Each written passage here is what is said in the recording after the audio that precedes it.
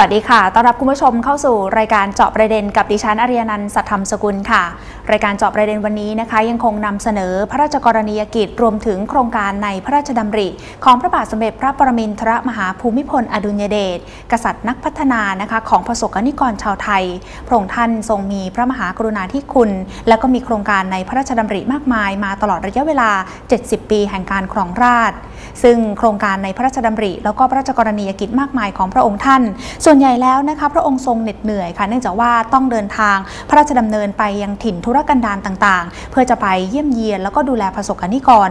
ลูกๆ ของพระองค์บนผืนแผ่นดินไทยแห่งนี้นะคะวันนี้รายการเจาะประเด็นนำเสนอหนึ่งในพระราชกรณียกิจที่สำคัญ ของพระบาทสมเด็จพระปรมินทรมหาภูมิพลอดุลยเดชติดตามรับชมกันค่ะ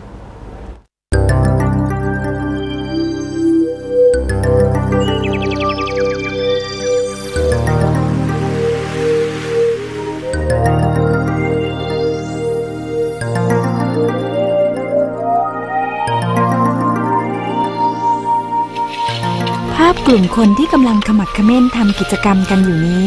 ดูผิวเผินอาจนึกว่าเป็นการทำความสะอาดบริเวณพื้นที่ป่าส่วนใดสักแห่ง แต่แท้จริงแล้วนี่เป็นส่วนหนึ่งของการคืนธาตุอาหารให้กับพื้นดิน ในพื้นที่ศูนย์ศึกษาการพัฒนาห้วยห้องไคร้อันเนื่องมาจากพระราชดำริ จังหวัดเชียงใหม่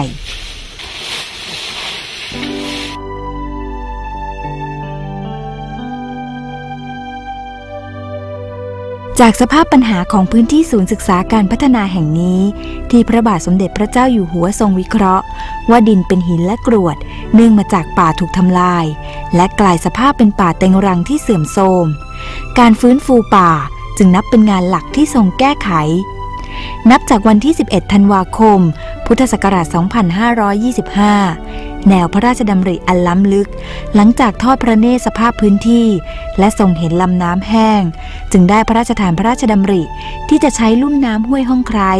เป็นลุ่มน้ำสำหรับศึกษาในการพัฒนารูปแบบต่างๆ โดยใช้ระบบน้ำชลประทานเป็นแกนนำเพื่อพัฒนาป่าเต็งรัง ให้ฟื้นคืนความสมบูรณ์ โดยใช้พื้นที่ประมาณ 8,500 ไร่ บริเวณป่าขุนแม่กวงอำเภอดอยสะเก็ดจังหวัดเชียงใหม่ ตั้งเป็นศูนย์ศึกษาการพัฒนาห้วยห้องไคร้อันเนื่องมาจากพระราชดำริเพื่อเป็นศูนย์กลางในการศึกษาทดลองวิจัย หารูปแบบการพัฒนาด้านต่างๆ ที่เหมาะสมกับสภาพพื้นที่ภาคเหนือ โดยการพัฒนาในระยะเริ่มแรกนั้น ได้มีการผันน้ำจากลุ่มน้ำแม่ลาย เข้ามาช่วยเพิ่มเติม ประมาณ 9 0 0 0 0 0 ลูกบาศก์เมตรต่อปี และทำการก่อสร้างฝายต้นน้ำและอ่างเก็บน้ำขนาดต่างๆ บนสันเขา เพื่อเพิ่มความชุ่มชื้นให้แก่พื้นที่ป่าโดยเมื่อวันศุกร์ที่ 3 กุมภาพันธ์ 2527 พระบาทสมเด็จพระเจ้าอยู่หัว ได้พระราชทานพระราชดำริ ถึงเป้าหมายของโครงการไว้ ความตอนหนึ่งว่า เป้าหมายหลักของโครงการนี้ คือการฟื้นฟูและอนุรักษ์ บริเวณต้นน้ำห้วยห้องไคร้ซึ่งมีสภาพแห้งแล้งโดยเร่งด่วน โดยทดลองใช้วิธีการใหม่ๆ เช่น การผันน้ำจากอ่างเก็บน้ำในระดับบน ลงไปตามแนวร่องน้ำต่างๆ เพื่อช่วยให้ความชุ่มชื้น ค่อยๆ แผ่ขยายตัวออกไป สำหรับน้ำส่วนที่เหลือ ก็จะไหลลงอ่างเก็บน้ำในระดับต่ำลงไป เพื่อนำไปใช้ประโยชน์ทางด้านการเกษตรต่อไป ในการนี้ควรเริ่มปลูกป่าทดแทนตามแนวร่องน้ำซึ่งมีความชุ่มชื้นมากกว่าบริเวณสันเขา จึงจะทำให้เห็นผลโดยเร็ว ผ่านการเวลาและแนวพระราชดำริของพระบาทสมเด็จพระเจ้าอยู่หัวมาสามทศวรรษ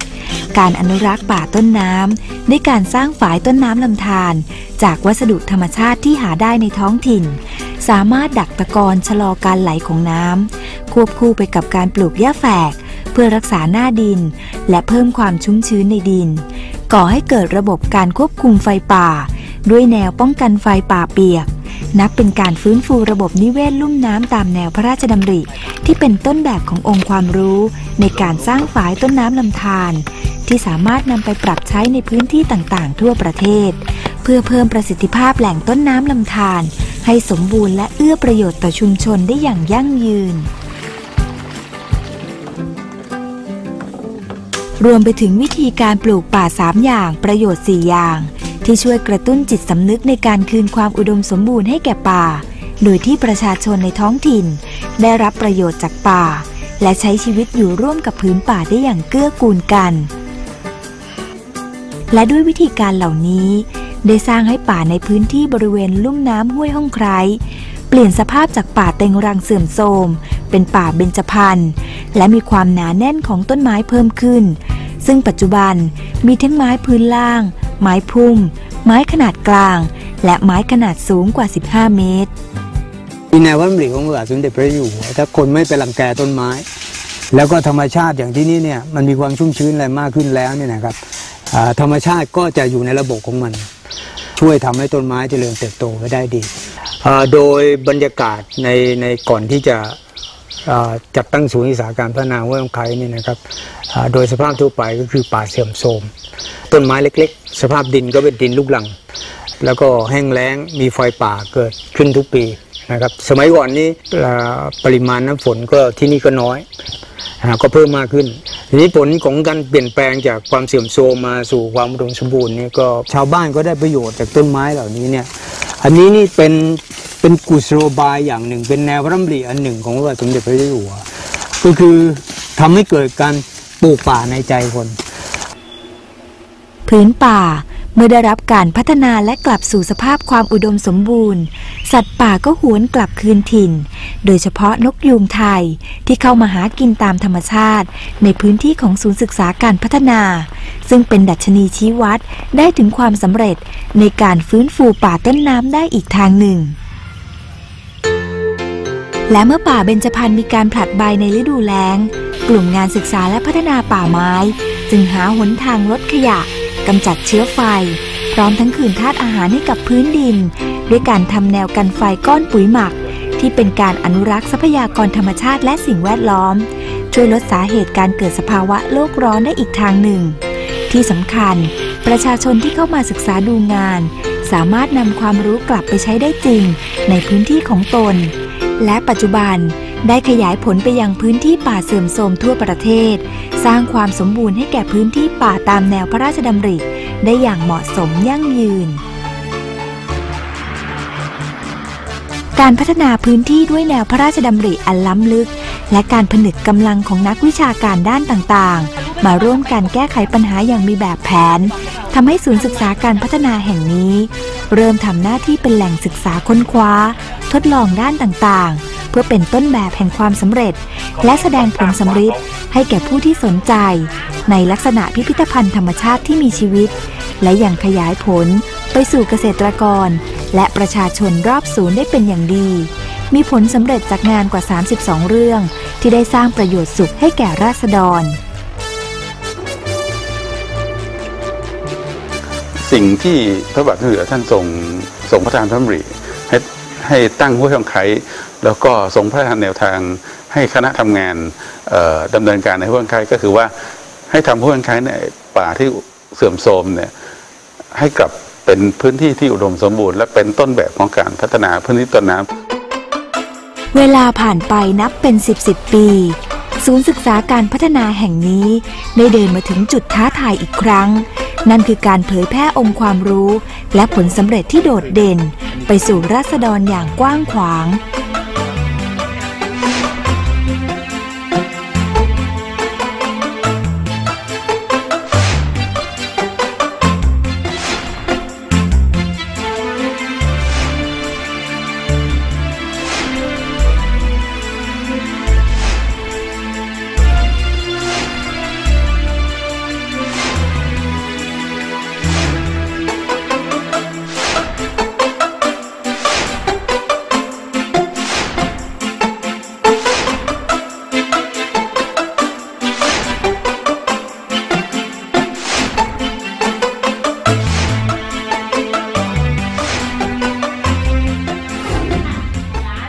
าวบ้านที่อยู่ในพื้นที่รอบๆ ศูนย์ศึกษาการพัฒนา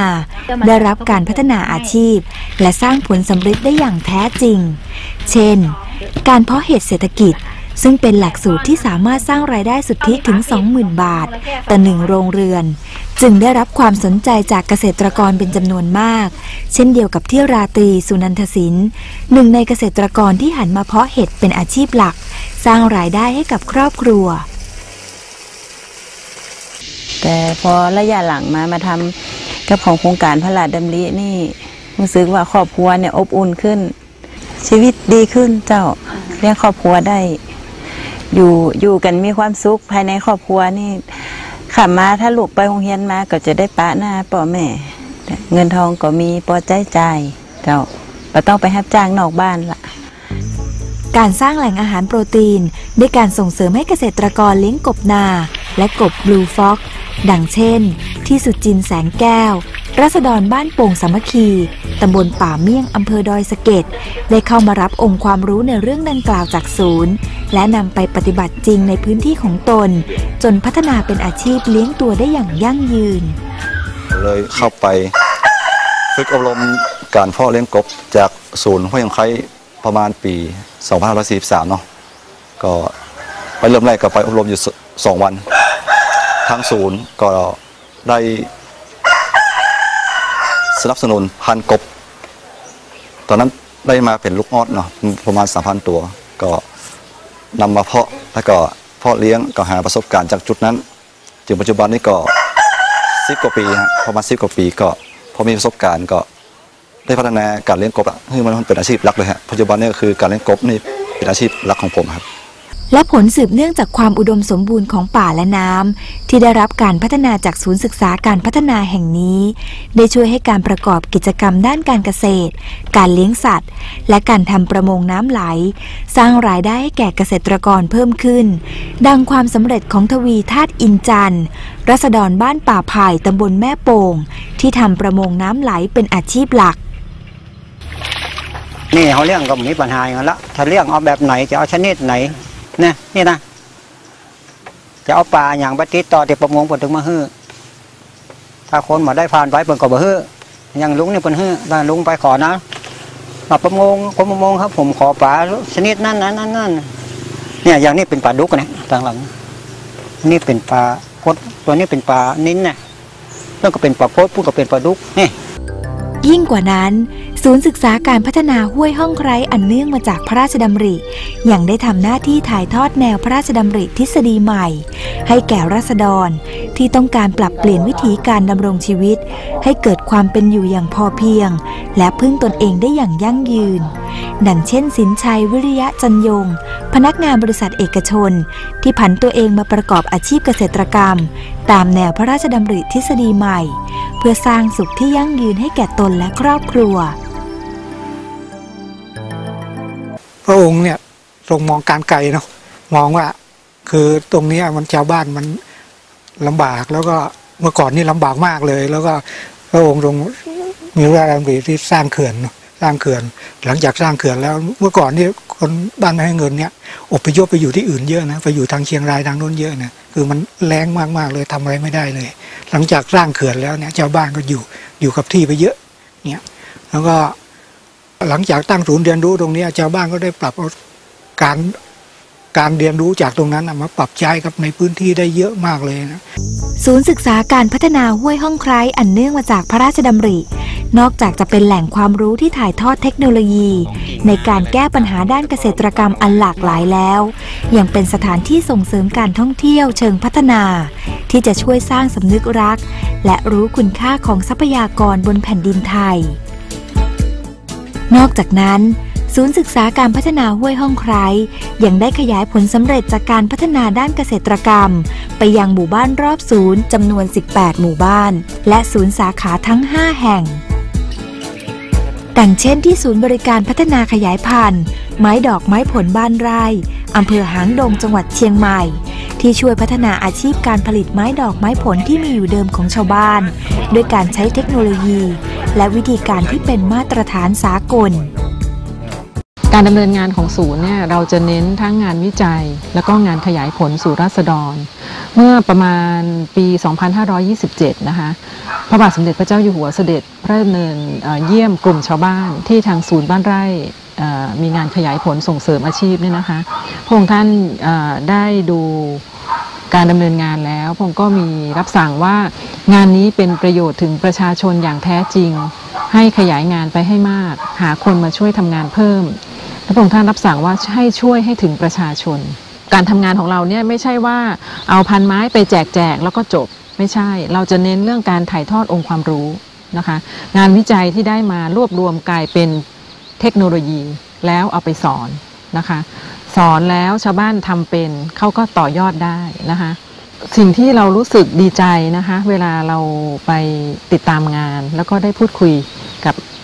กลุ่มชาวบ้านนะคะเขาก็จะบางคนก็จะบอกว่าเนี่ยโครงการของพระเจ้าอยู่หัวเนี่ยทำให้ลูกเขาได้เรียนหนังสือ มีค่าขนมกิน เรียนหนังสือจบ แล้วก็กลับมาช่วยเขานะคะมีหลายกลุ่มที่ชาวบ้านพูดแบบนี้ ตลอดระยะเวลาแห่งการดำเนินงาน ของศูนย์ศึกษาการพัฒนาห้วยห้องไคร้อันเนื่องมาจากพระราชดำริ เป็นการสรรสร้างงานพัฒนาที่ยั่งยืน ด้วยการพัฒนาป่าต้นน้ำลำธารเป็นหลักต้นทาง สร้างปลายทางเป็นการพัฒนาด้านประมง และระหว่างทางนั้น เป็นการพัฒนาการเกษตรและอื่นๆ ที่เกี่ยวข้อง นับเป็นการพัฒนาตามแนวพระราชดำริของพระบาทสมเด็จพระเจ้าอยู่หัว ที่ก่อให้เกิดการพัฒนาที่สัมพันธ์เชื่อมโยงกัน ตั้งแต่บนภูสูงสู่พื้นที่ราบ พัฒนาวิถีชีวิตที่ยั่งยืน ให้แก่ผู้คนและชุมชน ด้วยวิถีความพอเพียง และพึ่งพิงอิงธรรมชาติ แบบเกื้อกูลซึ่งกันและกัน ซึ่งทั้งหมดล้วนก่อเกิดประโยชน์สุข แก่ปวงชนชาวไทยอย่างแท้จริง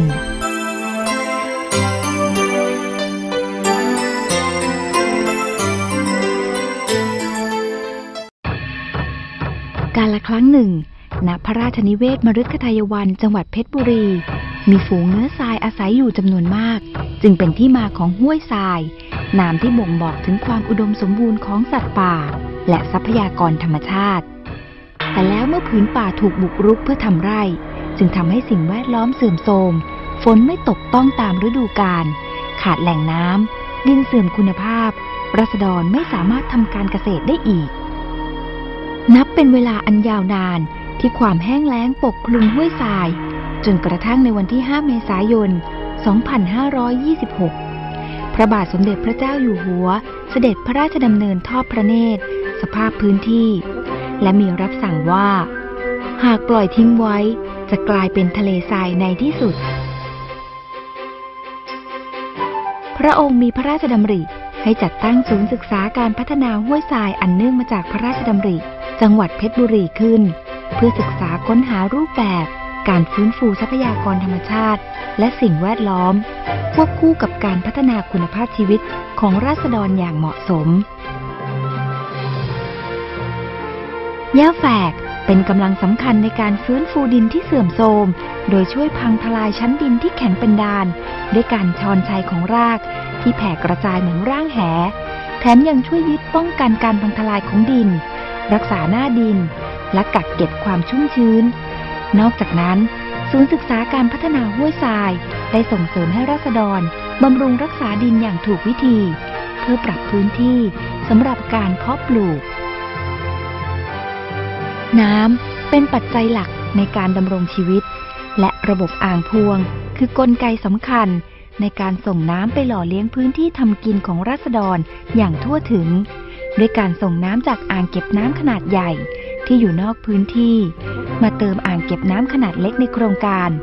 แล้วบริหารจัดการระบบเครือข่ายอ่างเก็บน้ำให้ไหลรินอย่างไม่ขาดสาย ระบบภูเขาป่าหรือป่าเปียก เป็นหนึ่งในพระราชดำริ ที่สร้างความเจริญงอกงามให้พื้นป่า ด้วยการสูบน้ำจากอ่างเก็บน้ำด้านล่าง ขึ้นไปสู่จุดสูงที่สุดบนเนินเขา จากนั้นปล่อยน้ำให้กระจายลงมา สร้างความชุ่มชื้นแก่พื้นที่ป่าด้านล่างทำให้พืชพันธุ์ไม้ต่างๆ ค่อยๆ ฟื้นตัว งอกงาม การส่งเสริมให้ราษฎรดำเนินตามแนวพระราชดำริ การปลูกป่าสามอย่างได้ประโยชน์4อย่าง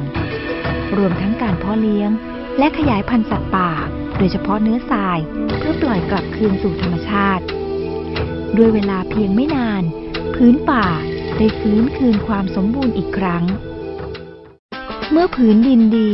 และมีแหล่งน้ำ เมื่อผืนป่าให้ความร่มเย็น ได้นำไปสู่การพัฒนาคุณภาพชีวิตของราษฎร ด้วยรูปแบบเกษตรกรรมที่ยั่งยืน และการส่งเสริมพันธุ์พืชพันธุ์สัตว์ที่เหมาะสมเพื่อสร้างรายได้ นอกจากนั้น ศูนย์ศึกษาการพัฒนาห้วยทราย ได้ส่งเสริมการรวมกลุ่มอาชีพ เพื่อสร้างความเข้มแข็งในชุมชน ณวันนี้ด้วยผลสำเร็จแห่งการพัฒนา ได้ก่อให้เกิดแหล่งเรียนรู้ในการอนุรักษ์ ฟื้นฟู และดูแลจัดการทรัพยากรธรรมชาติ ควบคู่กับการพัฒนาคุณภาพชีวิตของราษฎรอย่างครบวงจร คนกับป่าสามารถอยู่ร่วมกันอย่างสมดุล และนี่คือดินแดนที่ครั้งหนึ่ง มีแต่ความแห้งแล้งเสื่อมโทรม แต่ในวันนี้ได้กลับมาอุดมสมบูรณ์อีกครั้ง สมดังน